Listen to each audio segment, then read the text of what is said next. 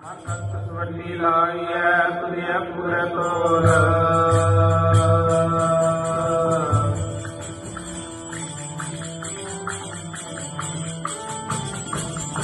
ਸੰਤ ਵੱਡੀ ਲਾਈਐ ਤੁਰਿਆ ਪੁਰ ਤੋਰ। ਵਾਹਿਗੁਰੂ ਜੀ ਕਾ ਖਾਲਸਾ, ਵਾਹਿਗੁਰੂ ਜੀ ਕੀ ਫਤਿਹ।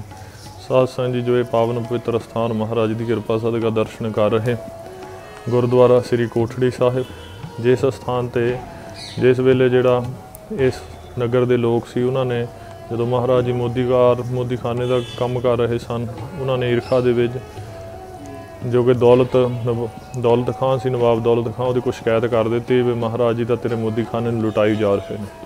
ਬਈ ਸਾਰਿਆਂ ਨੂੰ 13 13 ਕਹਿ ਕੇ ਤੋਲੀ ਜਾ ਰਹੇ, ਗਰੀਬਾਂ ਨੂੰ ਵੰਡੀ ਜਾ ਰਹੇ। ਉਸ ਵੇਲੇ ਸਾਧ ਸੰਗਤ ਜੀ ਆ ਕਰਕੇ ਜਦੋਂ ਸ਼ਿਕਾਇਤ ਕੀਤੀ ਸੀ, ਫਿਰ ਨਵਾਬ ਦੌਲਤ ਖਾਨ ਨੇ ਇਸ ਸਥਾਨ ਤੇ ਮਹਾਰਾਜ ਜੀ ਦੇ ਪਾਸੋਂ ਹਿਸਾਬ ਕਿਤਾਬ ਕਰਾਇਆ ਸੀ।